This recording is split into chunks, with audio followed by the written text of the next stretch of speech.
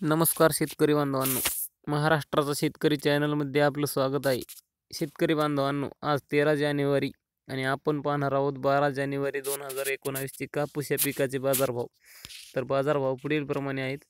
जालना बदनापूर बाज़ार समितीमध्ये सरासरी पाच हज़ार तीनशे रुपये. सावनेर बाज़ार समितीमध्ये सरासरी पाच हज़ार चारशे पन्नास रुपये. परतूर बाज़ार समितीमध्ये पाच हज़ार चारशे रुपये. किनवट बाज़ार समितीमध्ये सरासरी पाच हज़ार तीनशे रुपयांचा दर आहे.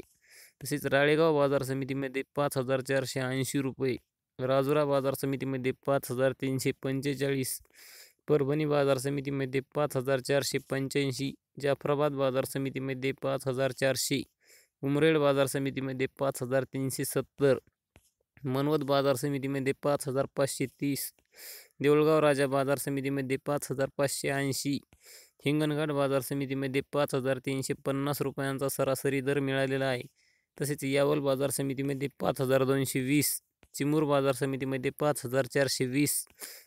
शेतकरी बांधवांनो, असेच बाजारभावविषयक आणि शेतीविषयक व्हिडिओ पाहण्यासाठी महाराष्ट्राचा शेतकरी चॅनलला सबस्क्राईब करा आणि त्यासमोर आलेल्या घंटीच्या चिन्हावर नक्की क्लिक करा. तर भेटूया पुढच्या व्हिडिओमध्ये, तोपर्यंत नमस्कार.